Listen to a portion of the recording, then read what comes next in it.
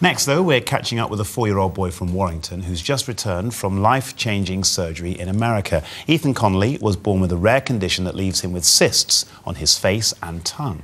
Now, doctors here won't operate because of his age, so after raising £100,000, his family travelled all the way to New York where a specialist surgeon operated on Ethan.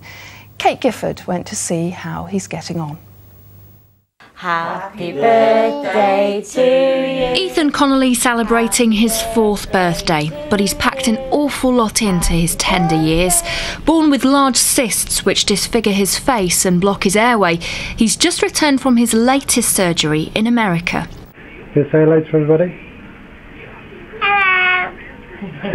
They've taken like some of the, the bulk away from um, from his right hand side. And it looks like he's had like a facelift. They've gone along the ear, and any any bulk that can be removed here is meaning it's clearing his airway. We first met Ethan last summer and travelled with him to Germany for laser surgery with an expert surgeon.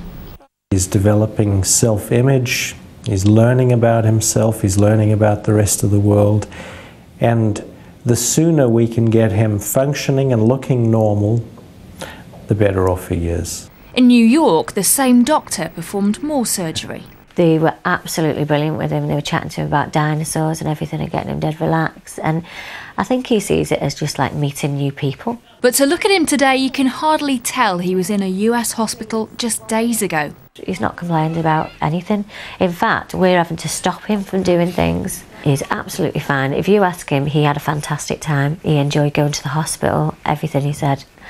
Um, in fact, he didn't want to leave when we were saying that we were going to go. Ethan has to wear a fluid drain that's emptied twice a day, and with more surgery ahead in the next few years, it's hoped his life can be vastly improved. But turning four, Ethan is too busy enjoying his birthday party. Kate Gifford, Granada Reports in Warrington. Bless Yeah, him, happy bless him. birthday, Ethan.